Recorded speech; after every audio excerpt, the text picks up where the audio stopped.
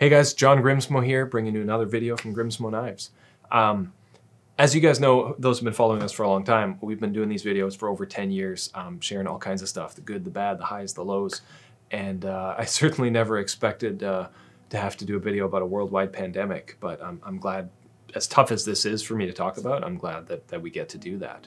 Um, so in this video, we're gonna get serious for a little bit because it's a big deal. Uh, and then we have a really cool project that we're working on. I can't wait to bring you guys downstairs and show you that. And then I'm going to talk about the next few weeks of what Grimsmo Knives is going to look like throughout this this worldwide crisis. Um, so, I mean, guys, this is a very, very serious situation, and some people still aren't taking it very seriously. Now, I'm I'm no expert. I know probably less than a lot of you guys do. Um, I learn what I need to know, and I know that this is a big deal um, entire countries are shutting down and people are being laid off left and right, and it's scary times. I'm I'm concerned for all the small businesses out there. Friends of mine, you guys, some of you guys watching this who might lose your business. It's scary. It's terrifying. Um, you know, I had that uh, concern with us for sure. Like, I know now after freaking out about it for a little while, we're, we're going to be fine. We're going to get through this. Absolutely. We're going to come out the other side stronger than ever before. But uh, I worry for a lot of people. And, uh, you know, we all have, uh, we all have friends, we all have family. Here in the team, I've got my Grimsmo family, you know, at, at, work. I've got my family at home, my wife and kids, and I've got customers and fans. Great. I know so many people through this then that are going to be affected. Somebody's, somebody I know is going to die. And we've already had two people, um, two like staff members that have friends and family and acquaintances that have died from this. It's a big deal. So I don't like talking about this stuff. I don't. I, I generally live my life like 90% optimism, 10% you know reality or just freaking out. Um, and I've certainly had that those heavy 10% times in the past week or two. But uh, for the most part, I keep my head up. I look forward. I look at myself and I say, what what can I do right now? What can I do to help? What can I do to feel better, be better? Um, and it's especially at a time when people are at home and bored and worried and scared. Um, that's something you should do. What, what can you do right now? Because you're going to run out of Netflix shows that are good. Um, be there for your family. Take care of people. You know, uh, reach out to people that you haven't talked to in a long time. Learn a new skill. Read a book learn Fusion 360, design that knife or thing or product or invention that you've always been talking about for so many years. Now's the time to do it. You know, don't don't let this opportunity go to waste um, because everything in life is an opportunity, and if we don't if we don't take it, it's gone. Life is an opportunity. So, on that note, as I'm starting to tear up here, let's go downstairs. Let's have some fun. We got some cool shop stuff to talk about. So, I love you guys. Let's go. Okay, okay, that was that was a lot. That was serious, but I'm glad I'm glad I did it. I got over my fear. I've been avoiding this video for a long time, but now we can have some fun. Now we can be in the shop. We got the Kern, we got the Mori. It's running right now. Um, okay, this secret project that I've been showing, that I've been teasing you guys about. So about a week and a half ago, we were all standing in our meeting, six feet away from each other. That's when the whole social distancing, you know, became a thing. Um, and we were talking about the situation and the virus that's going around. We were educating everybody, trying to get all on the same page. And um, Stephen made what at first was just a little joke. He's like, dude, we should, we should uh, take our Grimsmo logo and put a gas mask on it. And then the conversation, you know, we all chuckled and the conversation moved on, but I was like, that's not a bad idea. so then it circled back to that, you know, thing. And I was like, guys, I was like, yo, Fraser, rock, paper, scissors, who's gonna make a logo for us right now? And Fraser won. So, uh, I mean, here it is. Boom. It turned out so cool. So, to play on that idea, we just kind of went deeper and deeper, and we had such a fun, like, in such a negative time, our meeting when things were getting really serious and like countries were closing down and stuff, it was really fun and inspiring for us to have that joking around goofball conversation of Let's change up the logo. Let's embrace the situation. Let's have some fun with it. We're not making fun of it, but we're making, you know, lemonade from lemons kind of thing. Let's, let's, we still love what we do. This is still, you know, we're going to do this forever. Um, so let's have some fun with it. So we went down and we figured let's do a limited run. We've never done a limited run before. We've done a couple one-offs. Let's do a limited run of Norseman. Knives we're producing every day, but let's change it up. Let's put the gas mask logo on. Let's put the gas mask logo on the pocket clip, just like a little, little, little teaser. Let's put it on the inside of the handles and let's put a new pattern on the outside. And we'll do a limited run. And the two week period is the isolation period where, you know, if you travel in from the country, stay isolated for 14 days. Um, we typically make about 30 knives every week here. So we're like, let's do two weeks. Let's do, let's do 60 knives of pandemic Norsemen, pandemic series Norsemen. And uh, again, I, we're not trying to make fun of anything here, but we're trying to embrace the situation and create like a, a legacy item that, you know, five, ten years from now, this is gonna be this is going to be something we all remember. So to have a series of knives to commemorate that is, I think is going to be kind of cool. I'm sure it's a little polarizing. Some of you guys might be like, oh, you screw you, you're stupid, but we're going to have some fun with it. Um, so let me show you guys. They've been going really good. Blades will be exactly the same, although we might acid etch a lot of them. Um, so for the handle, it's hard to tell right now because it's right off milling, uh, but they're all going to be 3D crosshatched.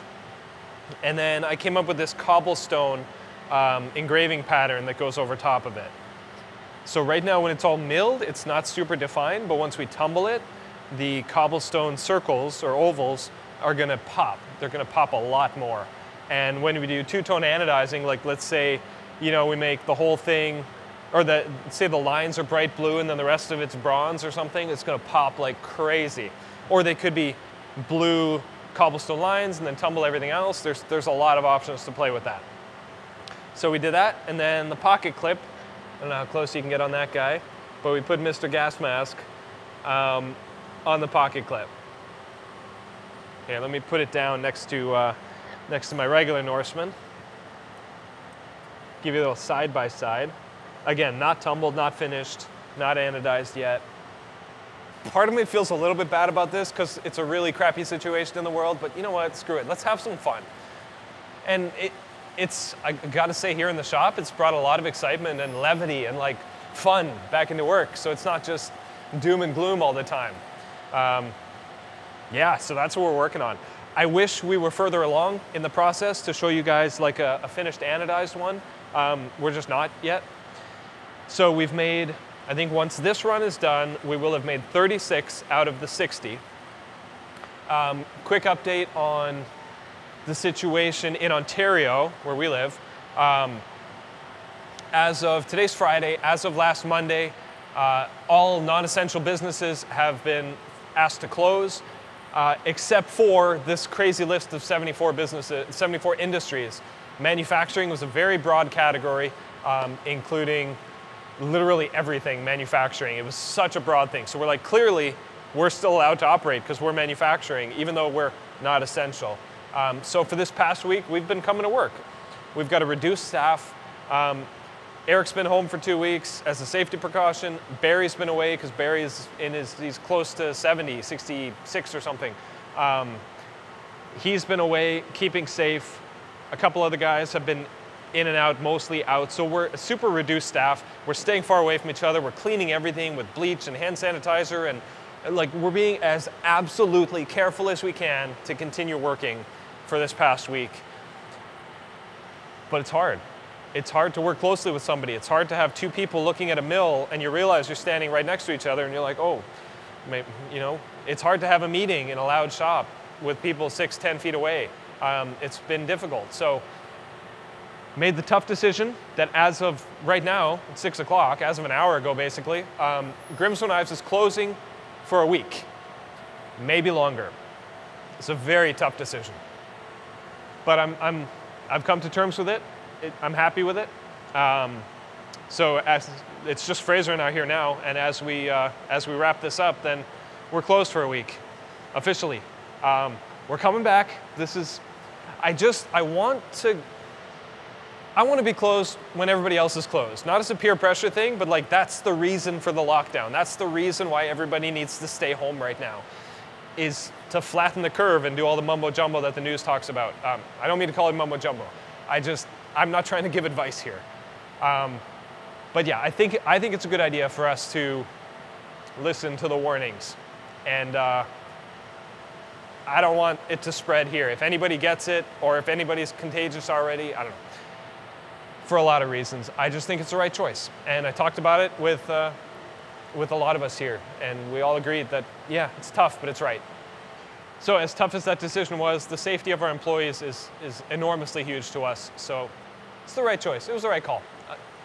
A lot of businesses are forced to shut down, and um, we're kind of in the middle. Kind of forced, kind of get to make our choice. So I, I'm glad we're doing it. Might be a week, might be two weeks, might be three weeks, but guaranteed we're coming back, and we're gonna kill it. We're gonna crush it when we come back. So there's a lot of things that I want to make sure we do. As I talked about upstairs before I started crying, was uh, use this downtime. So what am I going to do in this downtime when I sent all my guys home and all my employees? Well, I'm still coming in here and I'm going to have this whole building to myself. Um, I'm going to spend a lot of time with my family. So basically family and focus on critical projects that I come that are that I get to do here. So this big red behemoth right beside me here, um, honestly, it's been very lonely lately. It, it needs my attention. So this week during crisis, I get to uh, I get to give it some attention, which is good. I have Rask knives, Rask knives to develop. I have uh, I don't even think I've shown any of it. Here, follow me. Ta-da! Erowa pallet changer. So this is the tombstone that I've been working on for the Rask knives. Uh, essentially, knife handle's to go here, blade's going to go here, clips, etc. Hard blades are going to go over here. Um, another center pallet's going to go on here. This thing's heavy, steel. Um, I'm going to make it lighter, but eventually this is going to get bolted to a pallet like that. And if I can get that all bolted and attached and start making the clamps and the brackets and the fixtures, that's what I want to work on this next week. I've been meaning to do it for the past few weeks. I've uh, just been so busy with, with work and keeping up and the stuff that I have to contribute here at the shop. So I'm actually, as weird as it sounds, I'm looking forward to having an empty shop to myself so I can actually focus on my project, my baby. Um, so that when we come out the other side, we're, we're running, we're rocking hard. So um, I got this guy, we got our Canon M50, not quite the super fancy Sony A7 III that Fraser's got there. But, uh, but yeah, basically uh, my next week is gonna be like day one in quarantine, Kern. Day two, Kern. so I'll probably have some fun with that. Um, it'll be a lot more Knife Making Tuesday style from back in the day, but with a Kern. so that'll be cool. Um, yeah, and the funny thing is, so we were like, well, we don't have to shut down, so let's make our 60 pandemic knives while everybody else is shut down. Well, we got 36 into it, and then we're closed right now. So we'll have to finish the other, uh, the other 14 knives or 24 knives um, after, after we come back, after we get going, and that's fine. Um, Erik and Jo still have to like tumble and anodize and finish and sharpen and all of them anyway, so the flow will work out quite nicely using Fraser's fancy, what's this thing even called? I don't know. Oh, Lynch pry bar? Lynch pry bar? Yeah, I think so. I've certainly seen pictures of it on Instagram. Uh, I just noticed this guy was loose, so it works.